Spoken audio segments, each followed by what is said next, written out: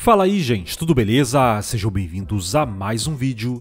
E no vídeo de hoje eu vou ensinar você a fazer uma transferência via Pix utilizando o aplicativo do Mercado Pago. Mas antes de começar o passo a passo desse tutorial, caso você esteja vendo esse vídeo e ainda não é inscrito no canal, inscreva-se para conferir todos os tutoriais e reviews do canal. Então vamos para o passo a passo desse tutorial. No primeiro passo, com o aplicativo do Mercado Pago aberto no seu dispositivo, nós vamos até a opção Pix. Nessa nova página, vamos até a opção Transferir dinheiro. Nessa página, em Como você quer transferir, vamos selecionar a opção Via Pix. Nessa página, você vai selecionar o tipo de chave Pix da pessoa que vai receber o dinheiro. A chave pode ser via e-mail, telefone, CPF, CNPJ ou chave aleatória.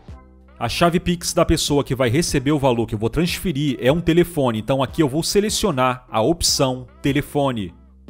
Nessa guia eu vou digitar o telefone da pessoa e vou selecionar continuar.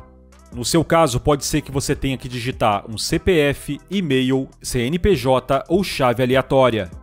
Assim que você digitar a chave Pix, o nome da pessoa, CPF e instituição bancária já vão aparecer. Aqui você vai selecionar Continuar. Nessa página você vai digitar o valor que será transferido. Assim que você digitar o valor, selecione Continuar. Nessa página você vai ter um resumo de toda a operação.